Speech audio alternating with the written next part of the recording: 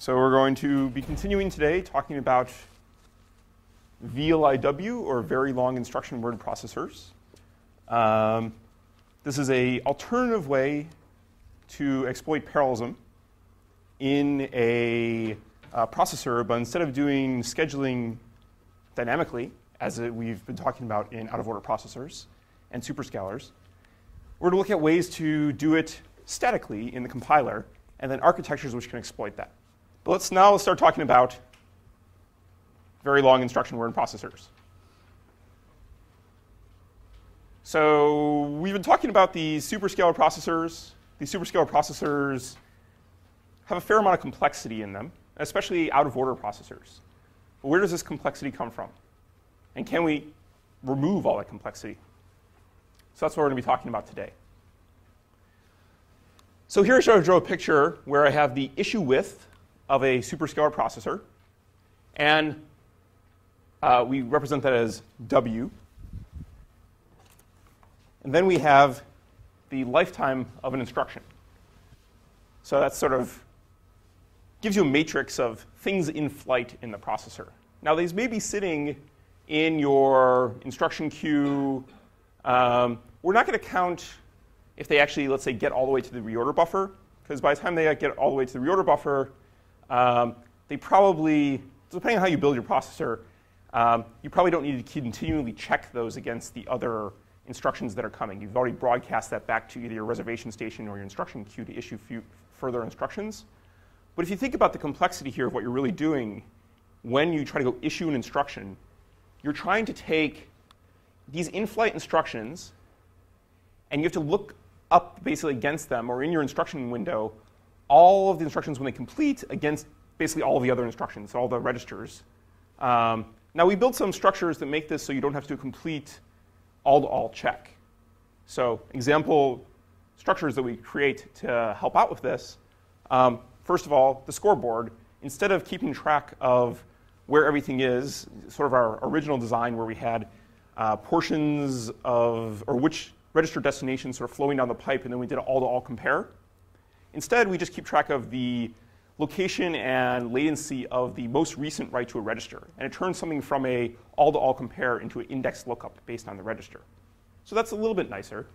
But if you think about what's happening in the issue queue, we're still doing a, um, as an instruction retires, it's going to basically broadcast the registers that get completed against the instruction queue and try to wake up instructions and see which ones are ready to go. And that roughly, as I said, scales, scales like this, because you're going to be retiring multiple instructions per cycle. And you know, let's say you have a bunch of stuff in the, the instruction queue, you're going to have to check against all of those. And this can get painful. Um, let's, let's take a look at first sort of the complexity of this for uh, in-order machine. So in-order machine is, is not so bad. Um, L is kind of the pipeline length you have your uh, uh, width, but you just basically have to have a scoreboard to figure this out. And as we said, that's an indexed-based structure. Now, when you start to go out of order, you, you start to have this sort of complexity of all of the results that come back have to be broadcast against either, if you have a distributed instruction queue, all the reservation stations, or if you have a, a single instruction queue, you have to check against all of the possible instructions to go issue. And what's interesting is one of the big challenges of building these structures is not actually quite what you'd think.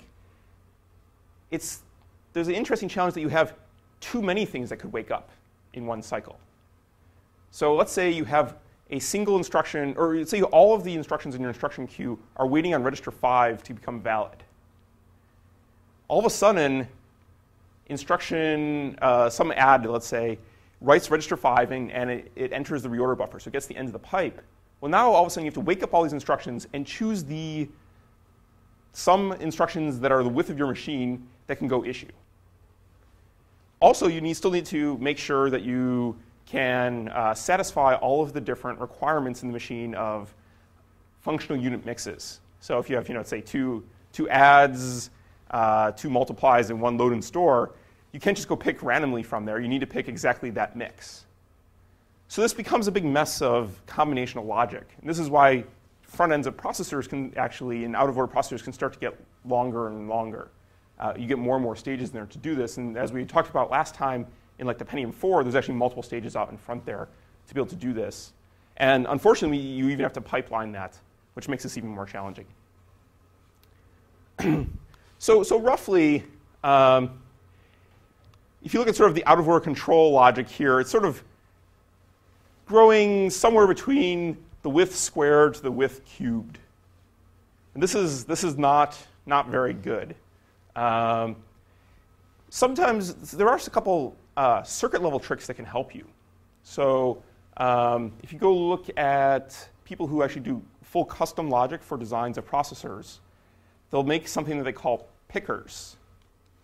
Um, and what a picker is, is it's actually a, instead of using straight combinational logic to go compute what instruction is ready to go uh, execute, you'll instead have a much more analog circuit in there, where you'll basically have some custom analog circuit there, which is almost like a CAM or a content addressable memory, but it's not quite a CAM. It's more of a uh, circuit which will choose what instruction is ready to go, and it is typically you want to have some heuristic that is the oldest instruction. This is to prevent deadlocks. you don't really want to issue arbitrarily instructions, uh, arbitrary instructions. You want to issue the oldest instruction because you want to make forward progress in the machine.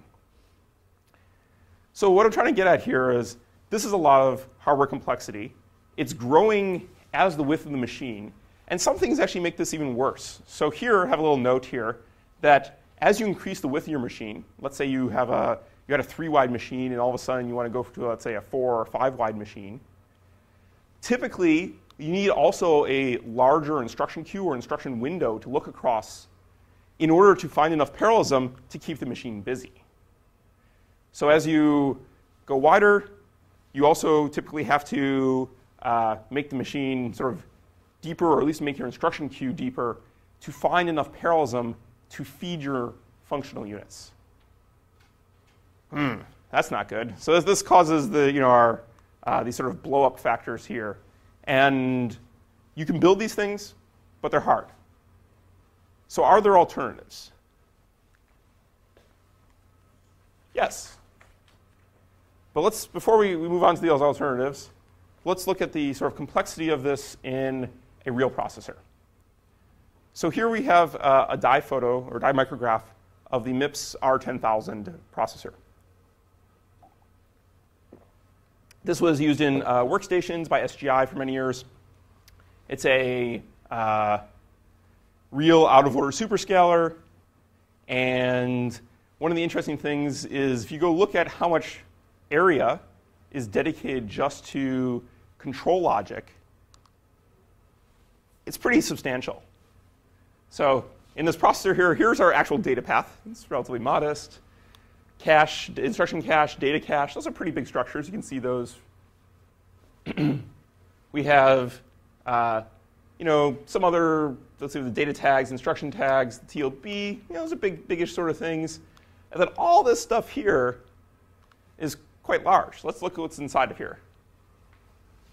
We have uh, sort of next instruction sorts of things. We have the free list for the, uh, we had talked about this, right? We talked about the free list for the, uh, which registers uh, free, if you will, to reuse in your out of order processor.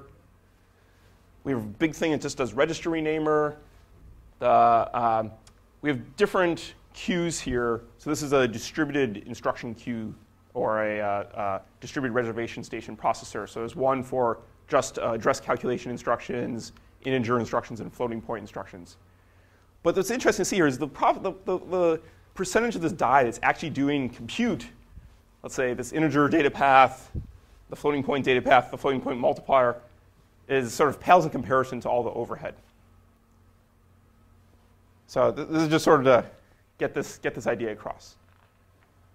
Another problem with uh, out-of-order superscalars or superscalars in general is thinking about how do we express parallelism?